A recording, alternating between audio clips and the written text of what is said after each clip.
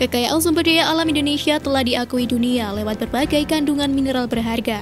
Untuk menggarap kekayaan alam tersebut, hilirisasi menjadi ambisi pemerintah agar nilai tambah produk bisa meningkat dan salah satu upaya untuk menjaga stabilitas investasi.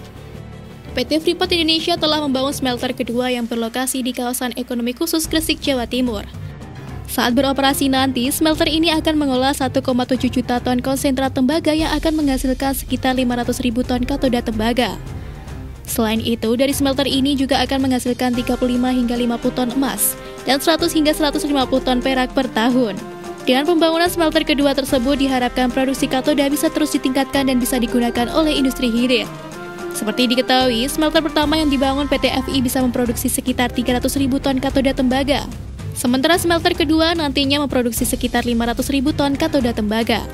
Dan selanjutnya, pembangunan smelter kedua ini diharapkan dapat mendukung upaya hilirisasi dan pertumbuhan industri hilir.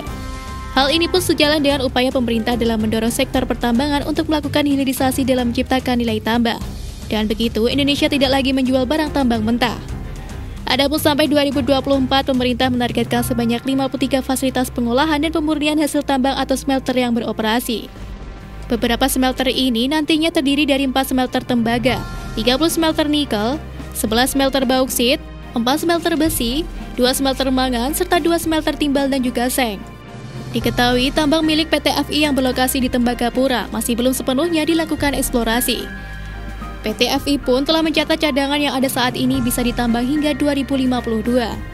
Adapun sumber daya yang tersimpan sebanyak 3 miliar ton sumber daya yang potensial untuk dikembangkan. Berkat cadangan ini, potensi pendapatan bagi pemerintah bisa mencapai 80 miliar USD hingga tahun 2041. Karena hal inilah PT FI pun sudah berencana menambah investasi hingga 2041. Investasi yang digelontorkan sebesar 18,6 miliar USD termasuk pembangunan smelter kedua di Gresik, Jawa Timur. Presiden Direktur PT FI Tony Wenas pun menyebutkan bahwa PT FI mampu memproses pengolahan biji tembaga menjadi konsentrat tembaga dengan nilai tambah mencapai 95 persen. Kemudian dengan hilirisasi, nilai tambah katoda tembaga akan menjadi 100 persen. Lebih lanjut berdasarkan data Kementerian Investasi atau BKPM, hilirisasi industri terbukti berkontribusi besar dalam pertambangan nilai produk, termasuk biji nikel yang telah dilarang ekspornya sejak 1 Januari 2020.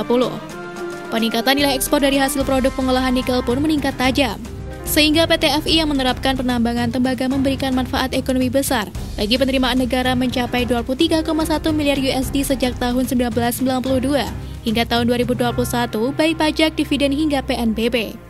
Sementara itu, menurut Menteri Investasi atau Kepala BKPM Bahlil Lahadalia, ekspor nikel mengalami peningkatan pada tahun 2021, yakni mencapai 20,9 miliar USD dari sebelumnya 3,3 miliar USD pada tahun 2017.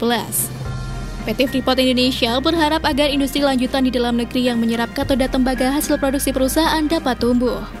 Mengingat dana yang digelontorkan perusahaan untuk pembangunan pabrik pengolahan dan pemurnian atau smelter konsentrat tembaga di kawasan industri terintegrasi CIIPE di Gresik, Jawa Timur ini akan melan biaya 3 miliar USD atau setara dengan 43,05 triliun rupiah.